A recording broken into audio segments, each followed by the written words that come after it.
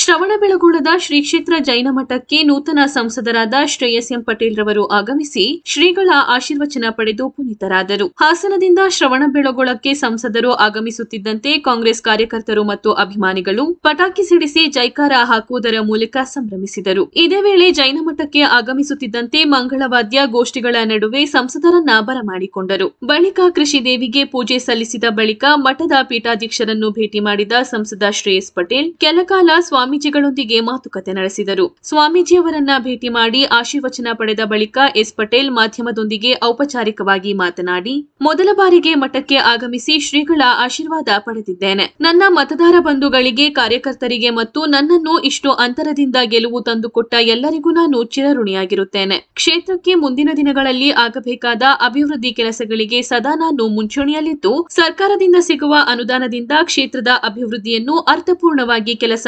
ಮಾಡುತ್ತೇನೆಂದು ವಿಶ್ವಾಸ ವ್ಯಕ್ತಪಡಿಸಿದರು.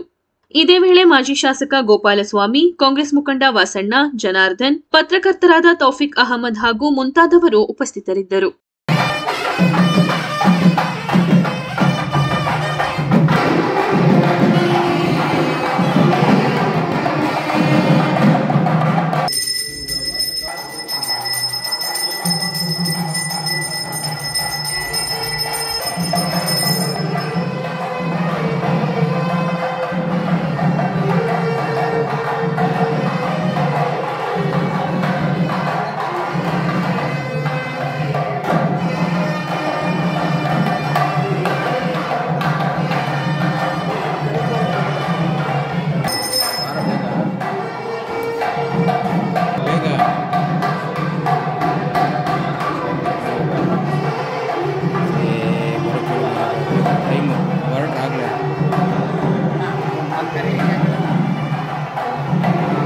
दृष्टार्थ सर्वे ग्रहाः सुप्रसन्ना फलदा फलदा भवन्तु।